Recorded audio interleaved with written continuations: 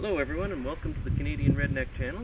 Uh, today we're going to be comparing two popular varmint calibers, uh, see how they perform. We're going to do a ballistics gel test and maybe have some of the other stuff in store also.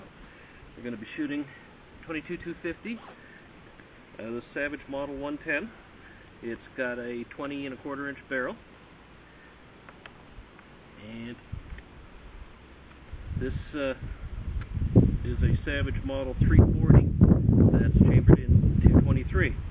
We have pointed soft point bullets for both calibers. Winchester Super X pointed soft point 55 grain bullets. So it should be quite equal other than barrel length, which should be minor at the close ranges we're going to be shooting. So we'll get that set up. Okay, we have our target set up.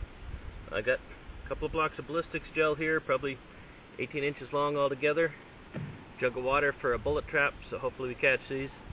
And uh, time to start slinging some lead. See what happens. I'll be shooting.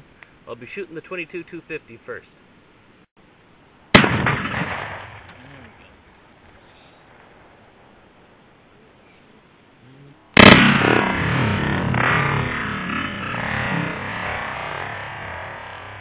Wow, force from that is giving our table a bad time.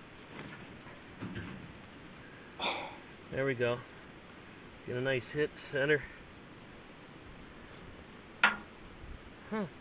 That was the bullet right there. It, it dropped out here. I heard it ting in the middle. Made a nice permanent cavity here. Yeah. It came at the end of the block there. Okay, I found the piece of 22 250 bullet that I dropped. It's just hardly anything left of it. It seemed to stop at the end of the uh, first block. It kind of stopped in the seam between the two blocks. But I found what's left of it. It's very, very small piece. Um, I've got the blocks reset, ready for the 223, and uh, we'll see if we can get a decent capture on that.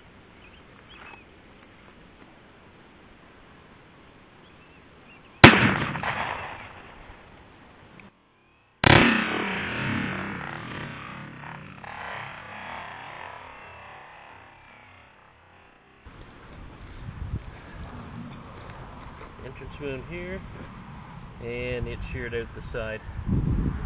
Man, these little gel blocks are having a bad day. You can certainly see they're both an effective varmint caliber, because I mean that would that would tear a small animal up pretty good. All right, shot number two.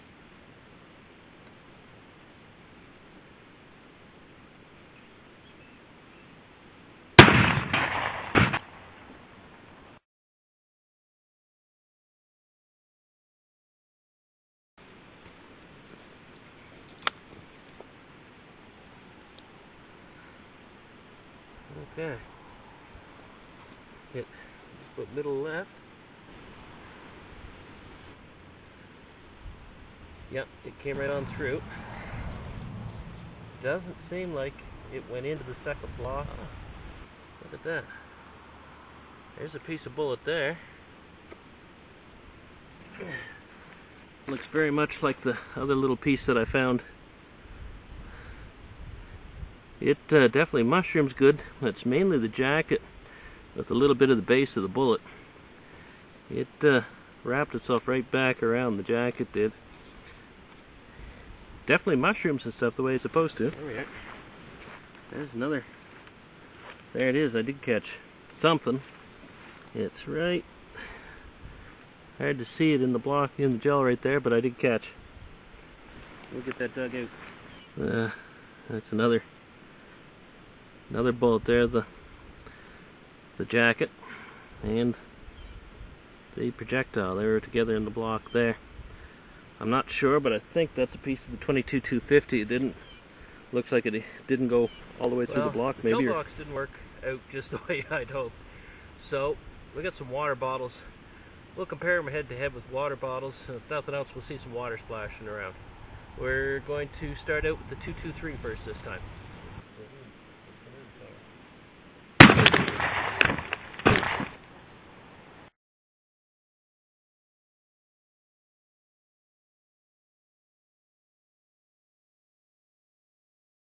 Well, that definitely destroyed that bottle. Number two, oh, started hooking out the side some.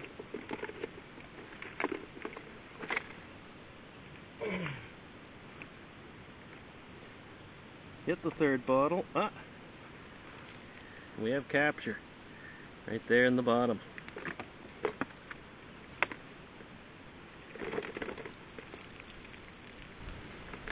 Boy, I didn't capture much. Yeah, well, not like the other ones. There is the jacket.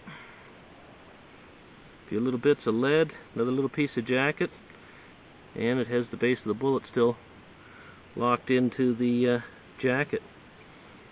Alright, we'll line up a few more bottles, take a shot from the 22-250. Okay, now this shot will be with the 22-250. 223 went into the third bottle before it stopped. We'll see if the 22-250 can go any further.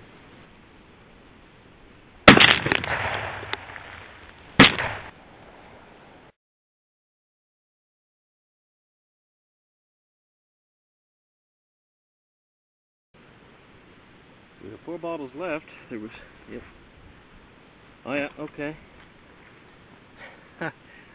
yeah, all right. There's the first bottle that it hit. Ooh, water all over my camera. And the 22-250 stopped right here in the second bottle.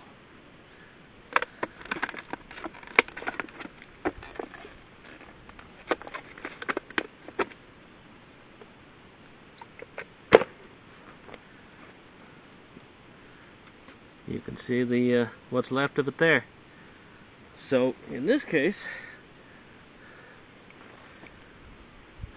I can only assume that it has to do with uh, the shorter barrel because uh, uh, according to all the charts and stuff 22 250 is supposed to be a little bit hotter than 223 not very much.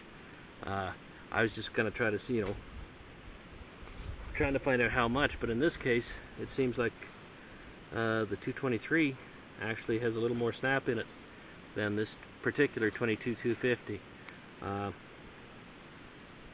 I guess the only thing is to uh, try another round and see what happens. Maybe we get a little more penetration on the next one. T-ball.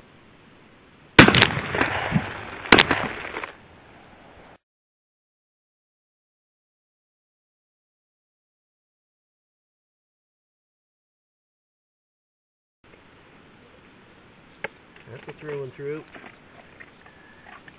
That one is tore up. Oh, no, it did it, but it did penetrate the third one that time, just barely. Yeah. Well, pieces of something did, but the bullet didn't actually go on through. It looks like it hit the bottle enough. Oh yeah, look at that. Right there. It hit it enough to puncture the bottle, but it did not go through. So, yeah, it seems like in this case, with this particular uh, combo of guns, the uh, 20, the 223 actually has packs a little more punch with it. Uh, we got some more bottles here that water in them, so we're gonna shoot them. They can't, they can't be any left.